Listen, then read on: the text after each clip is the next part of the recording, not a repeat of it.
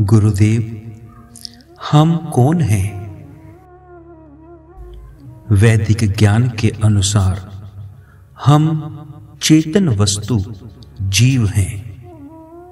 भगवान ने हमें सर्वश्रेष्ठ शरीर, मानव शरीर प्रदान किया है, जो कि भक्ति तत्व को समझने के लिए सर्वथा उपयुक्त है। हम शरीर नहीं, अपितु आत्मा है। गुरुदेव, जीव का वास्तविक स्वरूप क्या है?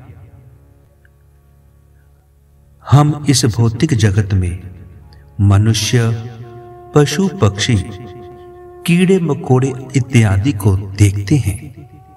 ये सब एक जीव को अस्थाई रूप से मिलने वाले शरीर है। अर्थात ये शरीर जीवात्मा का वाहन है। स्वरूपतः जीव भगवान का नित्य दास है। इसलिए भगवान की सेवा करना ही जीव का वास्तविक स्वरूप है। अपने वास्तविक स्वरूप को भूल जाने के कारण ही वह इस संसार में जन्म मरण के चक्कर में फंस गया है।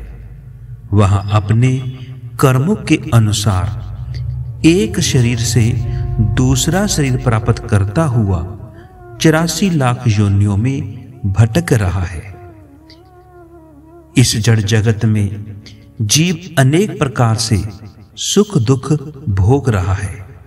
किंतु यही जीवात्मा मनुष्य शरीर प्राप्त करने पर भगवान के साथ अपने नित्य संबंध को पुनः स्थापित कर वास्तविक सुख प्राप्त कर सकता है।